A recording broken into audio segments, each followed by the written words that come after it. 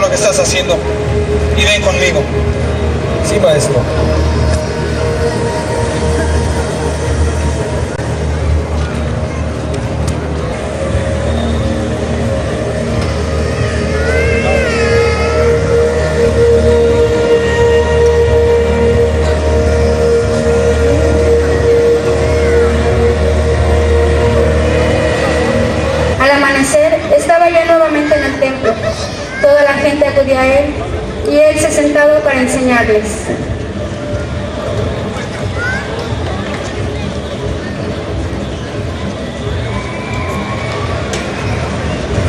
Los maestros de la ley y los fariseos le trajeron a una mujer que había sido sorprendida en adulterio.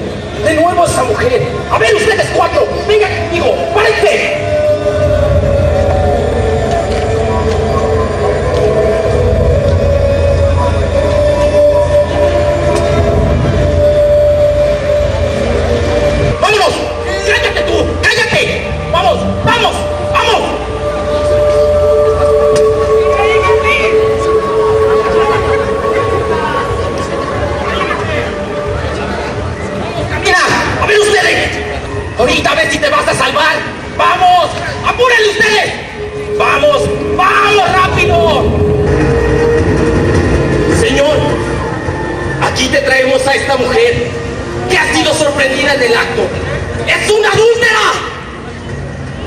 Moisés dice que esta mujer debe morir a pedradas. ¿Tú qué dices de eso? ¡Vamos, castígala! ¡Vamos, castígala! ¿No piensas hacer nada? Jesús se inclinó y se puso a escribir en el suelo con el dedo.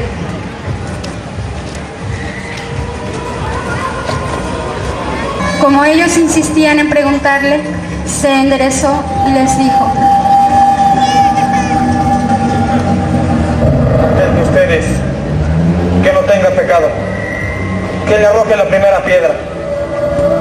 ¡Vamos! ¡Arrójele la piedra! se inclinó de nuevo y siguió escribiendo en el suelo. ¡Castígala! ¡Castígala! Al oír estas palabras, se fueron retirando uno tras otro, comenzando por los más viejos, hasta que Jesús quedó solo con la mujer.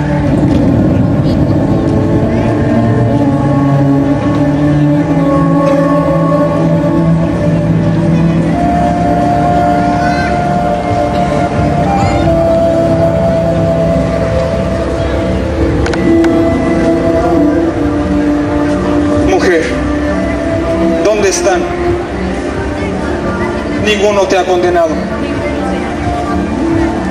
Yo tampoco te condeno. Vete. Y ahora en adelante, no vuelvas a pecar.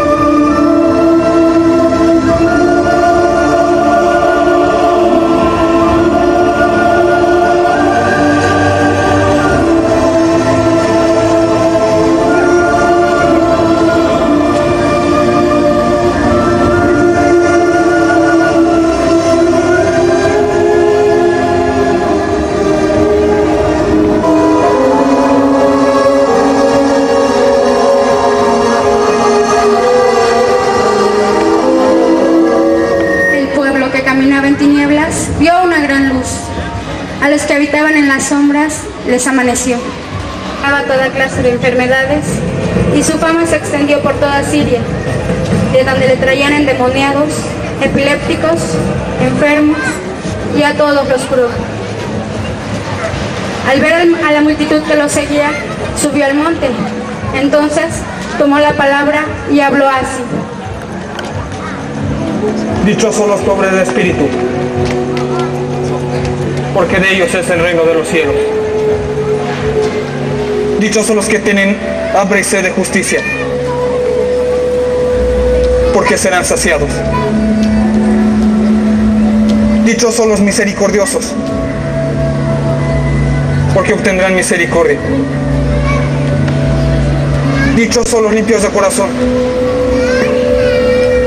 porque ellos verán a Dios, porque se les llamará hijos de Dios, porque el reino de Dios les pertenece. Dichosos serán ustedes.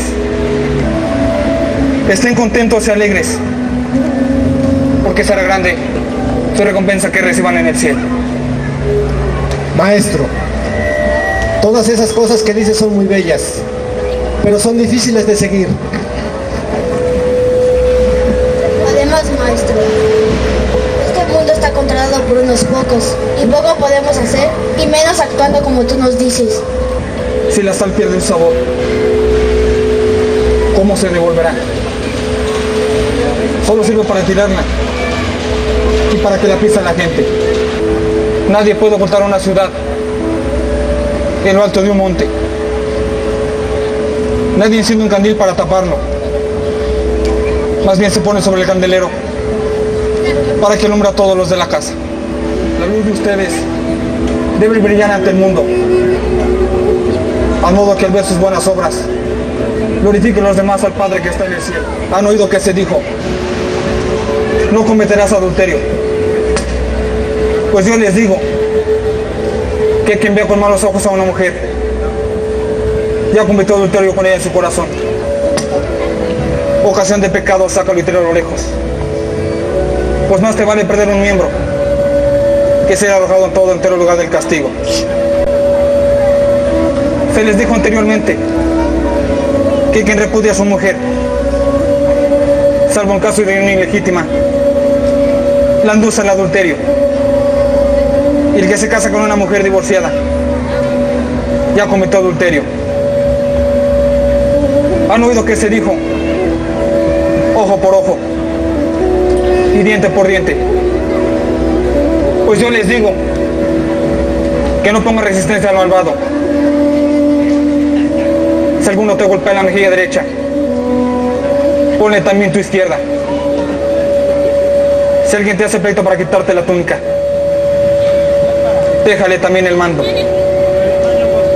Si uno, si uno te fuerza a caminar mil pasos a su servicio, camina con él dos mil.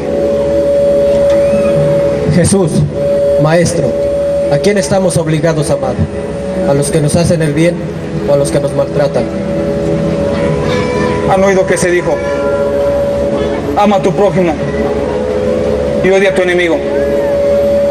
Pues yo les digo que amen a sus enemigos y que recen por los que los persiguen. Así saben hijos de su Padre Celestial que hace salir el sol sobre buenos y malos y hace llover sobre justos e injustos. Sí aman solo los que los aman. ¿Qué recompensa merecen? También lo hacen los publicanos. Ustedes sean perfectos, como su Padre Celestial es perfecto. Que los fariseos, los sacerdotes, el bautista y tú hacen oraciones de diferentes maneras, pues los hemos visto. ¿Qué es difícil la oración? ¿Qué debemos pedir? Cuando recen, no hagan como los hipócritas, que les gusta rezar de pie en las sinagogas y en las esquinas de las plazas, para que la gente los vea. Cuando tú vayas a rezar, entra a tu cuarto y cierra la puerta. Y ora a tu Padre que está en lo secreto. Y tu Padre que está en lo secreto, te lo recompensará. Cuando ustedes recen, no hagan como los paganos, que piensen que por muchas palabras serán escuchados. Ustedes recen así. Padre nuestro, que estás en el cielo, santificado sea tu nombre. Venga a nosotros tu reino. Hágase, Señor, tu voluntad, así en la tierra como en el cielo. Danos hoy nuestro pan de cada día. Perdona nuestras ofensas, como también nosotros perdonamos a los que nos ofenden.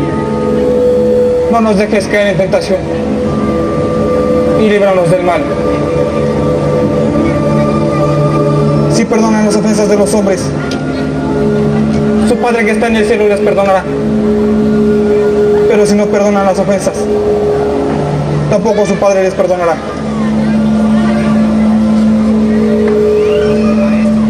Todo eso que nos dices acerca de la oración es muy importante para nuestra vida. Pero, ¿qué tenemos que hacer respecto a, la- a los sacrificios, al ayuno, a las limonas que se nos encomiendan en la ley? Cuando ayunen, no pongan mala cara como los hipócritas, que disfiguran la cara para que la gente vea que ayunan. Yo les aseguro que ya recibieron su paga. Cuando tú vayas a ayunar, perfúmate la cabeza y lávate la cara. A modo que tu ayuno lo vea el Padre Celestial. Cuando den limosna, no anuncien con trompetas, como lo hacen los hipócritas en las sinagogas, para que la gente los vea. Cuando tú des limosna, que no sepa tu mano izquierda lo que hace tu derecha. Así tus limosnas se quedarán oculto. Y tu Padre que ve lo escondido, te lo recompensará. Maestro, mucha gente de la presente es pobre, pero también hay quien tiene riquezas. ¿Debemos o no tener riquezas? no acumulen riquezas aquí en la tierra, donde roe la polilla, donde los ladrones abran brechas y te roben. Acumulen riquezas aquí en la tierra, donde los ladrones no entran y te roban.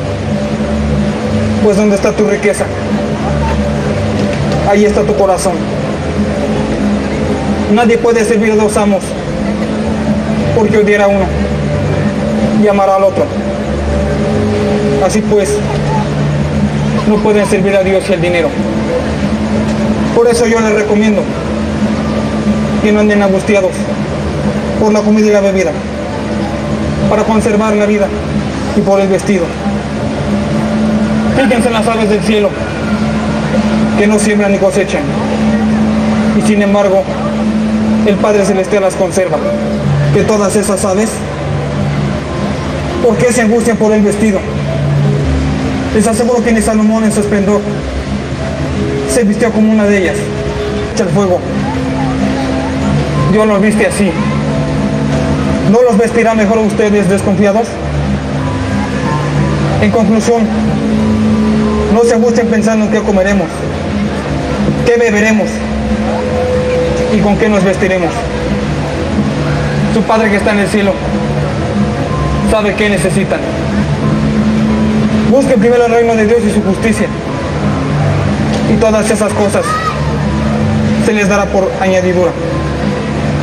Así pues, no se angustien pensando por el mañana, porque el mañana se ocupará de sí. Hermanos, vayamos a casa para descansar. Ya mañana nuestro Padre Celestial nos permitirá anunciando el Evangelio.